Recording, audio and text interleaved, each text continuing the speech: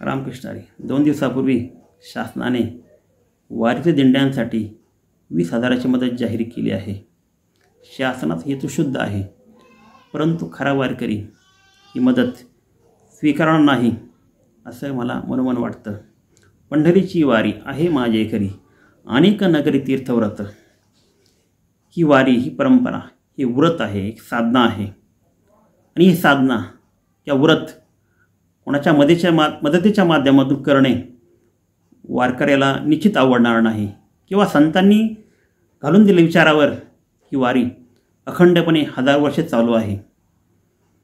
भिक्षापात्र अवलंबणे जळो जिने लाजिरवाणे किंवा हात पसरे जिने झीक त्याचे असे तुकाराय सांगतात. फक्त सांगत नाहीत त्याप्रमाणे आचरणही करतात. जेव्हा छत्रपती शिवरायांनी तुकाऱ्यांसाठी मोठा नजराणा पाठवला. त्याला तुकाऱ्यांनी स्पर्शही केला नाही. आणि आम्ही तेने सुखी म्हणा विठ्ठल विठ्ठलमुखी तुमचे एर वित्त धन ते मधमुत्तिके समान. असा उपदेश छत्रपती शिवरायांना तुकाऱ्यांनी केला होता. हे आचार आणि विचार हा वारकरी निरंतरपणे जगत आहे. त्याप्रमाणे आचरण करत आहे उच्चार करत आहे. आणि केवळ पंढरीत पंढरपूरचा ध्यास पांडुरंगाचा ध्यास या सर्वांच्या वारकऱ्यांच्या मनात असतो. आणि त्या दिशेने पंढरपूर दिशेने हे वाटचाल करत असतात.